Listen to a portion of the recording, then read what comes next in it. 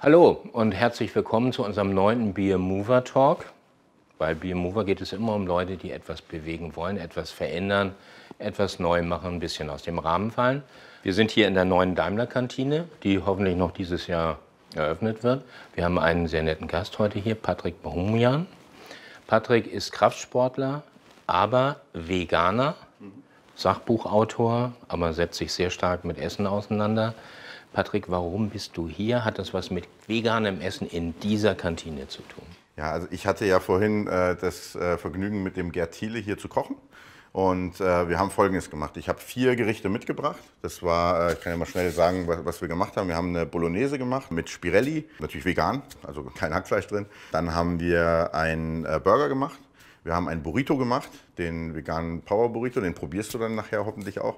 Und dann haben wir noch ein Pilzragout mit, mit Tofu gemacht. Also ich habe geguckt, dass ich Sachen mitbringe, die zum einen Spaß machen und zum anderen eben auch ordentlich Protein und Energie haben, weil äh, man will ja dann nachher in der Kantine auch was essen, was einen über den Tag dann auch am Laufen hält. Ähm, und ich glaube, wir haben das ganz gut hingekriegt äh, und wird, wird dann hoffentlich auch von den Mitarbeitern so angenommen. Und das heißt, man kann dann eventuell auch zwischen veganen Gerichten wählen, welche man haben möchte? Ja, ich glaube, wenn ich das richtig verstanden habe, ist die Idee, dass das dann nachher pro Tag irgendwie eins von diesen Gerichten angeboten wird. Äh, nachher, also das heißt, ähm, letztendlich über die Tage hinweg kann man dann alles ausprobieren, wenn man möchte. Ähm, aber ich glaube nicht, dass jetzt jeden Tag irgendwie alle vier Gerichte angeboten werden sollen. Patrick, wie bist du auf die Idee gekommen? Wenn ich dich so angucke, denke ich mir 100 Kilo pure Kraft ja, ungefähr. 105, 105. Gut. Aber wie bist du dazu gekommen, dich vegan zu ernähren? Also es war, ähm, hat, hängt erstmal mit dem Sport gar nicht zusammen, die Ernährung, sondern äh, es ist so, dass ich Kraftsport schon sehr früh angefangen habe zu machen. Ich war 14, als ich mit dem Kraftsport angefangen habe und habe mich die ersten Jahre auch wirklich klassisch so ernährt wie die meisten Kraftsportler, also sehr fleischlastig und so weiter, viel Milchprodukte und sowas als Proteinquelle.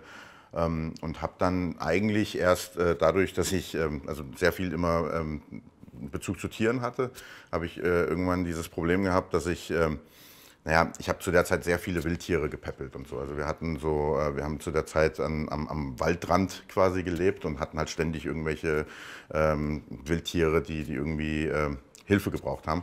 Und als ich dann letztlich Vegetarier erstmal geworden bin, hatte ich äh, gerade einen Raben, den wir gepäppelt haben.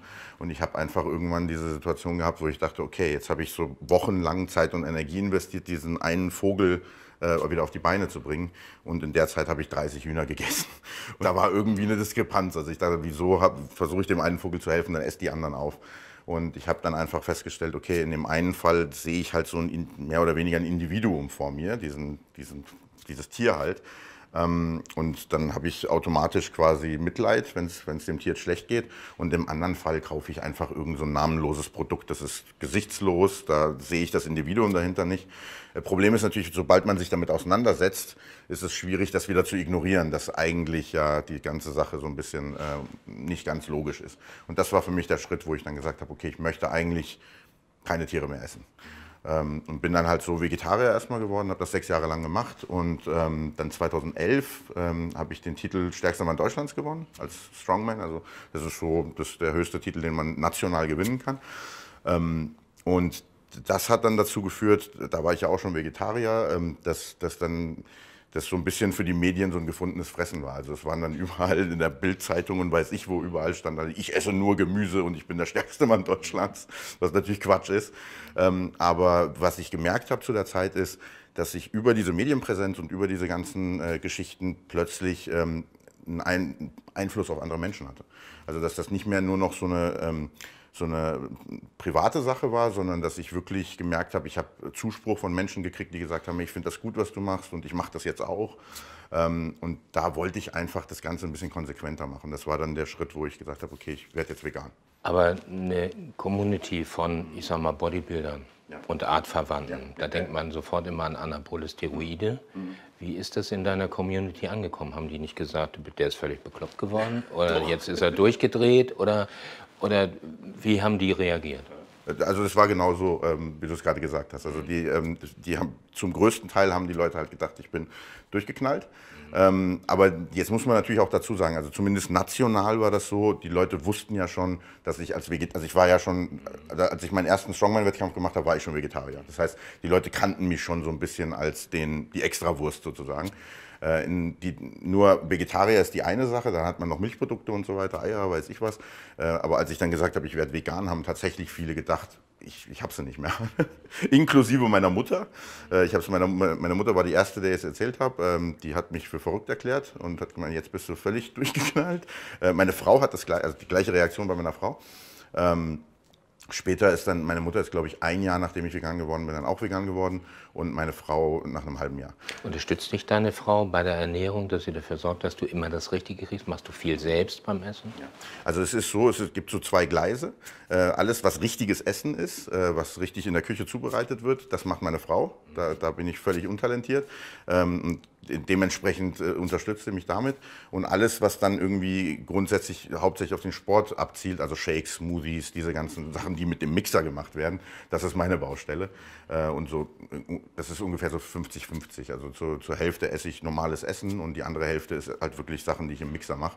Ähm, und das ist für mich so eine ganz gute Balance. Damit kriege ich, kriegt mein Körper alles, was er braucht und ich habe trotzdem nochmal Spaß dazwischen. Hat dich durch die vegane Ernährung dein Körpergefühl verändert? Also ich meine, du bist ein Kraftpaket, so, du trainierst täglich nach wie vor, aber jetzt nicht mehr um Gewicht aufzubauen, sondern eher um Wohlfühlgewicht zu haben. Genau. So, aber hat sich dein Gesamtkörpergefühl verändert durch die vegane Ernährung? Ja, absolut. Also ich habe ja, als ich vegan geworden bin 2011, war ich ja mitten in, also quasi auf dem Höhepunkt meiner Karriere sozusagen. Und ähm, das, das war ein Riesenunterschied. Also ich habe erstmal ein bisschen Angst gehabt, weil ich das Ganze natürlich wieder hauptsächlich aus ethischen Beweggründen irgendwie gemacht habe ähm, und nicht, weil ich gedacht habe, ich fahre damit vielleicht besser. Das heißt, ich habe gedacht, okay, ich werde bestimmt irgendwelche Verluste haben oder irgendwelche Probleme werden schon auftauchen. Und dann war ich wirklich schockiert, dass ein eine ganze Menge an Sachen, die ich vorher an Ballast mit mir rumgetragen habe, wie zum Beispiel, ich hatte chronisch Sodbrennen. Und das ist, glaube ich, eine Volkskrankheit. Ich glaube, da können viele Leute irgendwie auch ein Lied von singen, dass man einfach grundsätzlich immer irgendwie äh, so, so, ein bisschen sauer unterwegs ist. Ähm, und ich habe das immer, das war für mich eigentlich normal, dass ich Sodbrennen hatte und dann musste ich manchmal Milch trinken oder irgendwas und dann ging das weg. Und so habe ich auch immer gedacht, dass die Milchprodukte mir eigentlich helfen und hatte eigentlich befürchtet, wenn ich jetzt vegan werde, sterbe ich wahrscheinlich an Sodbrennen, weil dann habe ich keine Milchprodukte mehr. Und das Gegenteil ist passiert. Das Sodbrennen war zum ersten Mal in meinem Leben war das komplett weg.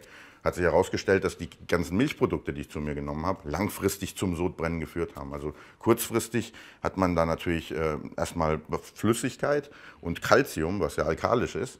Das heißt, das hilft erstmal. Aber sobald das Eiweiß aufgespalten wird, ähm, habe ich in, in tierischen Quellen immer einen ganz hohen Anteil an schwefelhaltigen Aminosäuren.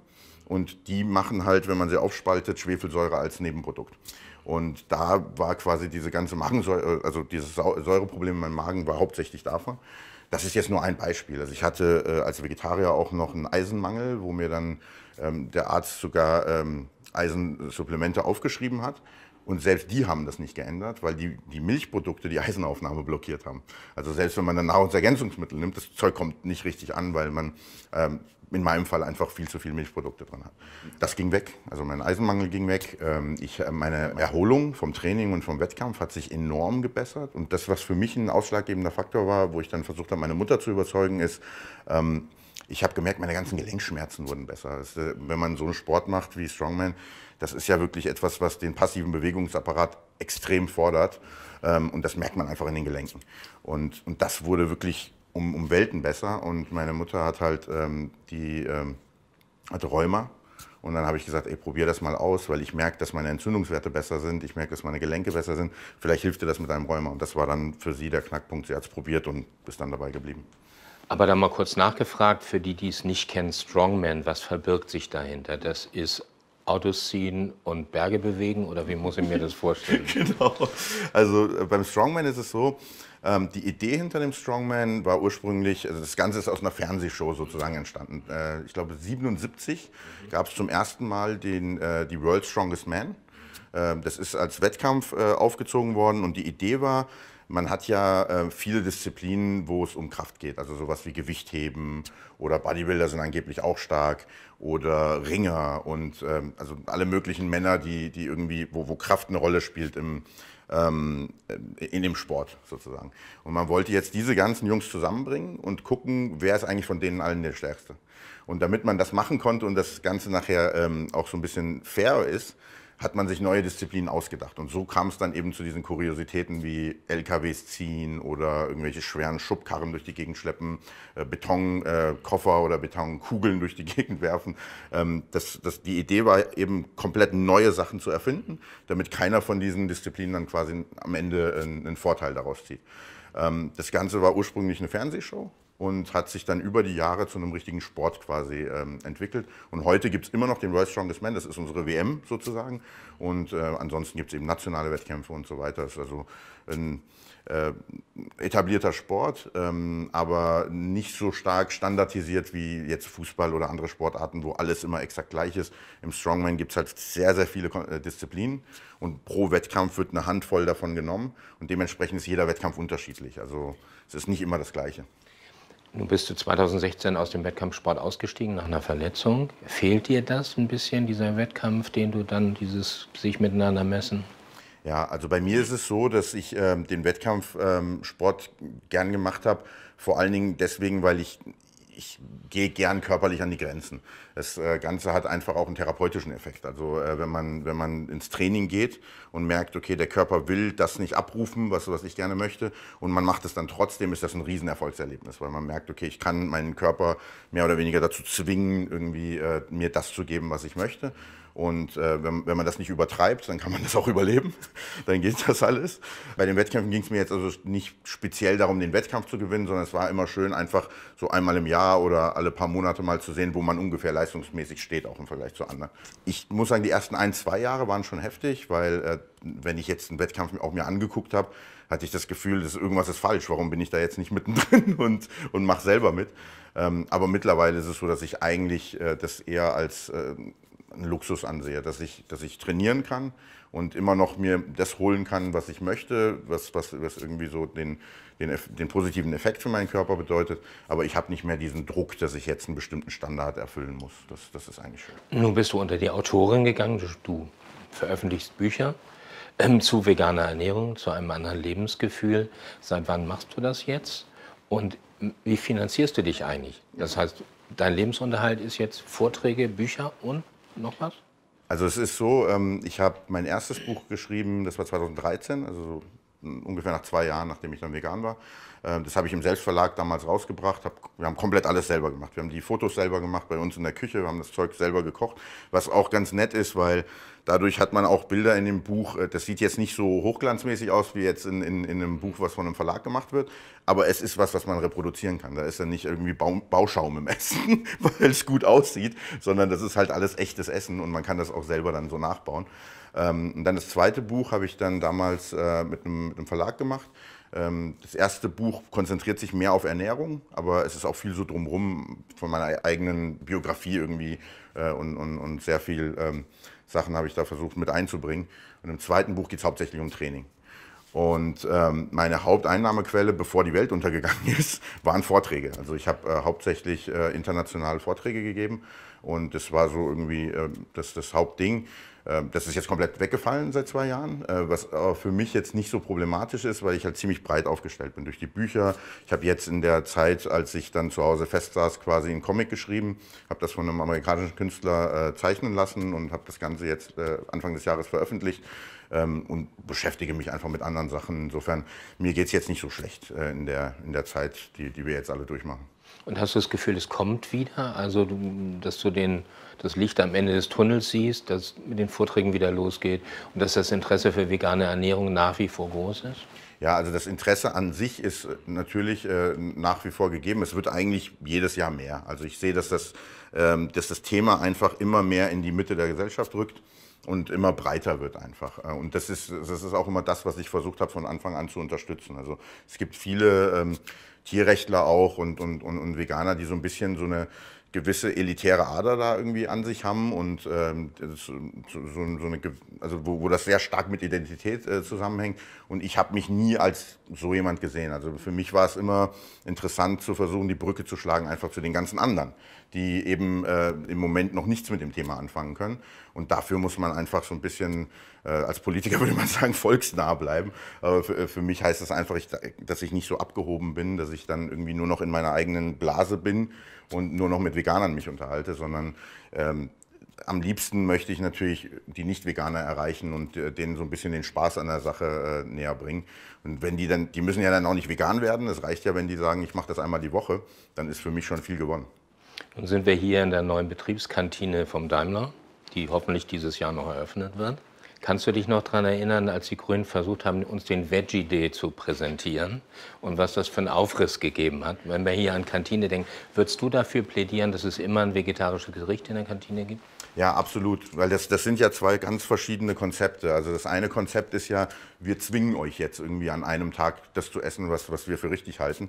Und das andere Konzept ist, ich gebe jedem die Option und das jeden Tag und nicht nur einen Tag die Woche, die Option, irgendwas Veganes zu essen und die Menschen können sich dann letztendlich selber aussuchen. Und ich muss ja diese Option einfach nur ähm, attraktiv genug gestalten, dann nehmen die Leute das auch an. Also das ist ja, es ist ja nicht so, dass die Leute ein Problem damit haben, pflanzlich sich zu ernähren, sondern äh, die Leute haben einfach keine Lust, was Langweiliges oder was Fades und Ödes zu essen. Und wenn man den Leuten was Leckeres gibt, dann nehmen sie das auch. Also insofern äh, bin ich immer dafür, den Leuten einfach Optionen zu geben und nicht, den, nicht irgendwas wegzunehmen. Mhm, genau. Nun hast du dich auch sehr stark für den Tierschutz engagiert. Du bist auch als Covergirl bei Peter aufgetreten, sozusagen. Äh, warum hast du das gemacht?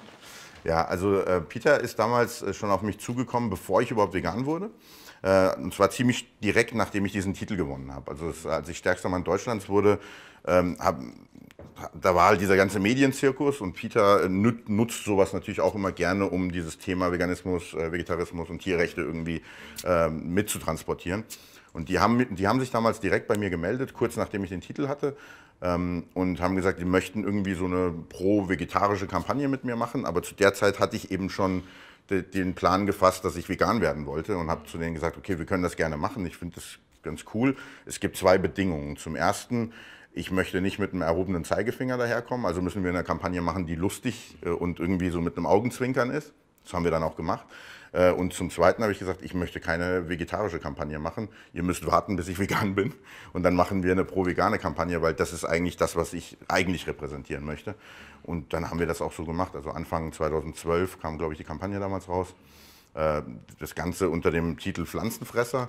Und ich bin da halt auf so einem Bild zu sehen mit verschränkten Armen, also so Meister Propper Pose, habe Grünzeug im Gesicht.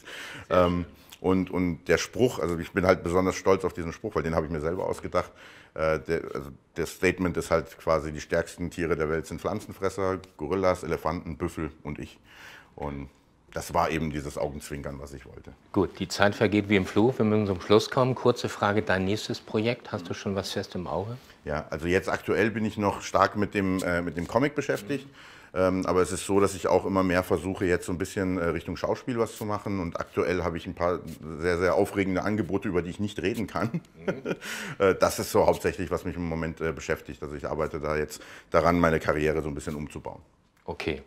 Vielen, vielen Dank für das Gespräch, Patrick. Ich hoffe, es war von Interesse. Hat Spaß gemacht.